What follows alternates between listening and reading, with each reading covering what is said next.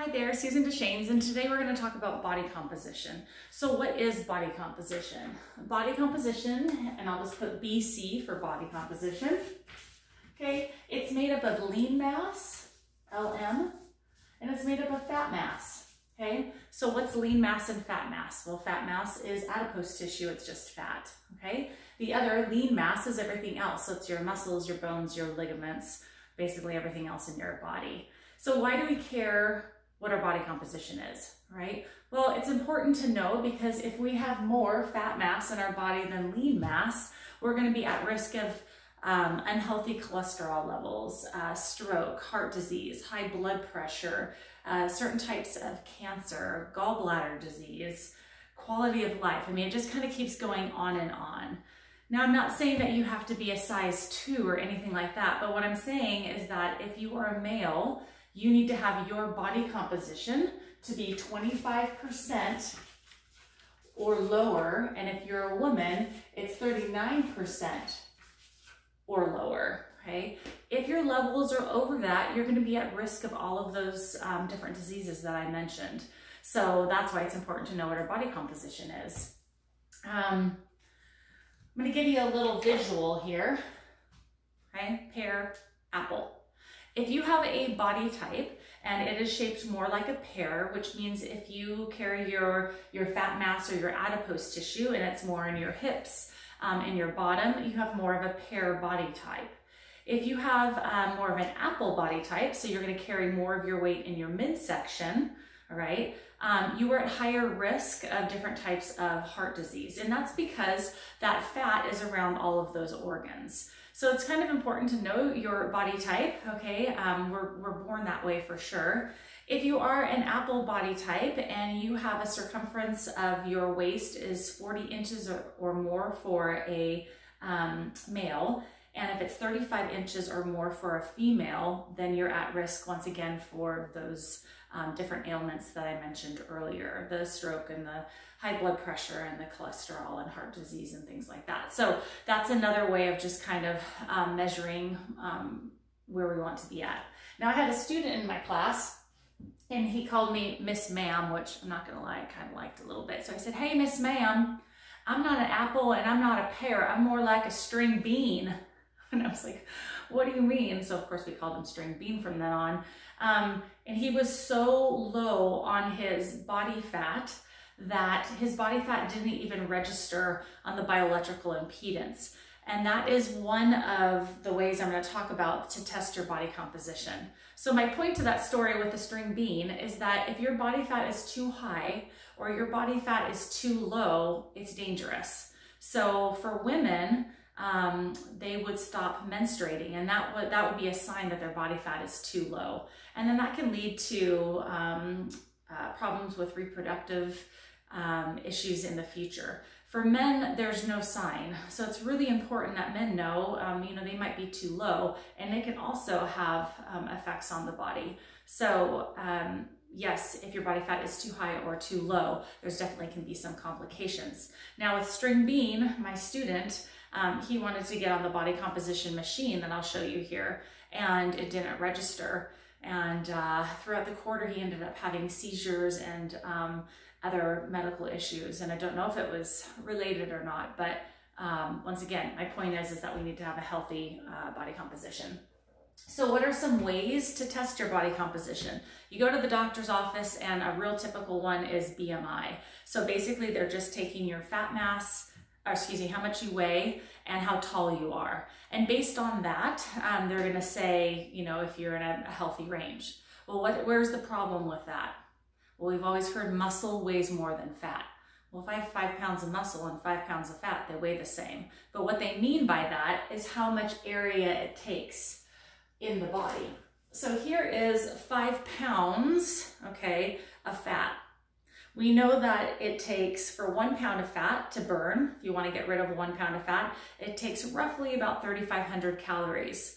So if you, you know, were to get uh, a Frappuccino, and let's say that's 500 calories, and you were to cut that out every single day for the week, you would lose potentially one pound of fat, okay? This is five pounds of muscle. So you can see the big difference between how much room in the body muscle takes versus fat.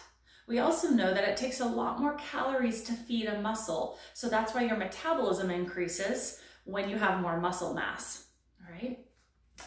So let's talk about uh, the different ways of measuring your uh, body composition or your body fat. So we talked about the BMI, okay, which isn't a, the best way because if somebody is really muscular, it's gonna say that they're obese um, because the scale doesn't know the difference between fat mass and lean mass. All right, uh, the second way is the bioelectrical impedance. So the bioelectrical impedance, we have a machine like this at the college, okay? So basically, you stand on this scale, right? Your shoes and socks are off. You're gonna input some information into the computer and it's gonna spit out a little reading for you. So just like any test, you know, there's definitely a 1% to 3% error in this. So if I'm really dehydrated, um, it's going to make my body my body fat um, higher than it really is. If I am severely underweight or if I'm severely overweight, it will also skew the results. So there's definitely, uh, you know, pros and cons. But for us at the college, it works really well. Um, the students just have to take their shoes and socks off. They stand on it. They get a little report and they get to they get to move on.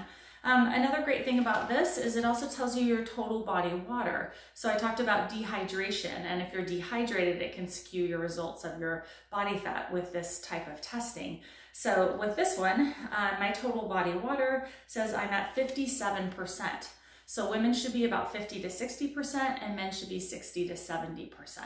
And that's just based on your muscle has um, holds a lot more water. It's basically all water, okay?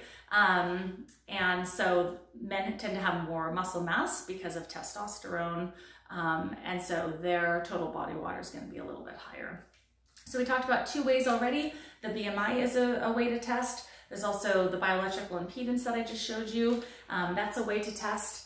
The most accurate way is either underwater weighing, where you're in a bathing suit, you basically are, it looks like a hot tub, and they weigh you, okay? So fat is um, very buoyant, uh, it doesn't weigh a lot. So if a person is a little bit heavier, they won't weigh as much in the water. If a person is really dense, they're gonna end up um, sinking. So that's one technique that's one of the most accurate um, very expensive and time consuming. Another way is called the bod pod, and that's a, um, it looks like you're in an egg and you're in your swimsuit again, and it's kind of an air displacement. So um, both of those machines are over $30,000.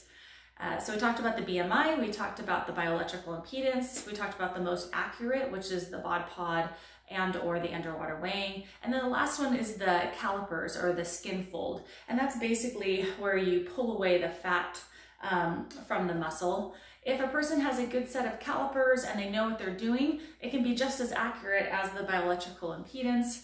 Uh, obviously, if they don't know what they're doing, or if, or if a person has really tight skin and it's hard to pull that fat away from uh, the muscle, you know, that can also be a problem too. So the highlights of this uh, very quick lecture um, is the importance of knowing what your body composition is. And um, I didn't go over the different percentages, like what's considered athletic or, you know, lean or, or things like that, because really the only number I want you to think about is what's considered obese, which is 39% or higher for women or 25% or higher for men. Um, beyond that, if it's less than that, um, you know, you can be healthy and you can be fit really um, at any body fat percentage. So it doesn't really matter if you're a woman and you're 10% body fat or you're, you know, 25% body fat. If you're eating healthy and you're exercising, you know, you're, you're, you're on a great path uh, for health. So we want to know what our body composition to know if our, you know, heart is at risk for um, different uh, diseases, and then um, we talked about the importance of not being too low of body fat, not being too high of body fat. We also talked about the four different ways of measuring um, our body composition.